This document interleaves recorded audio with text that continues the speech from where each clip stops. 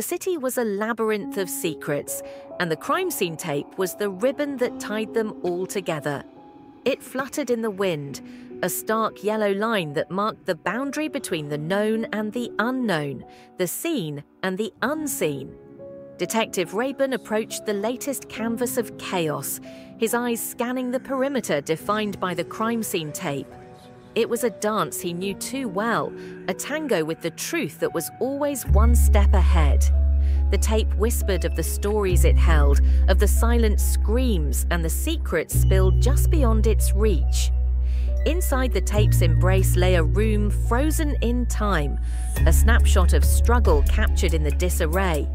The furniture was upturned, the walls bore the scars of desperation, and amidst it all, the crime scene tape seemed to hold everything back, a barrier to the outside world. Rayburn knelt, his fingers grazing the edge of the tape, feeling the electric charge of the untold story pulsing beneath. The tape was a storyteller, a keeper of the final moments of the victim's tale. It was a line that the living were not meant to cross, a threshold guarded by the spectres of the past. As he stood, the crime scene tape caught on his coat, a gentle tug that felt like the hand of the victim, beckoning him closer, urging him to look beyond the physical, to see the story that lay hidden in the shadows. The tape was everywhere, crisscrossing the scene, a web of warning, of caution, of respect for the story that had unfolded. It was the only witness to the crime, the silent observer that held its vigil long after the sirens had faded and the onlookers had dispersed. And as Rayburn's eyes pieced together the clues, the crime scene tape seemed to tighten around the room, a grip that held all the answers just out of reach. It was a challenge, a dare to find the truth among the lies. But the tape also spoke of a promise a promise that justice would be found, that the story would be told, and that the silence would be broken. The crime scene tape was not just a barrier, it was a bridge to the final act of the play, the crescendo before the curtain fell. And as the sun dipped below the horizon, casting long shadows across the tape's golden hue, Rayburn knew that the interval was approaching the moment of respite before the story twisted again, before the tape would lead him down the next dark alley of this city's heart.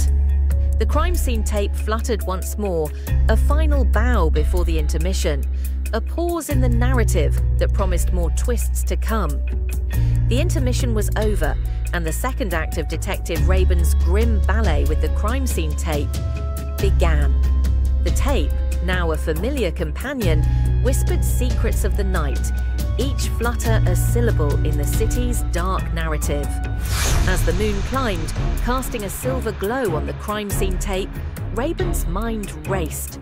The clues were speaking, each one a crisp echo in the silence of the room. The shattered vase, the scattered papers, the lone fingerprint on the window ledge, they were notes in a symphony of evidence, and the crime scene tape was the conductor. The detective moved with renewed purpose, his shadow intertwining with the tape's outline, a duet of determination. He traced the steps of the assailant, the victim, the dance of death that had played out in this very room. And with each step, the crime scene tape seemed to tighten, a noose around the neck of the mystery.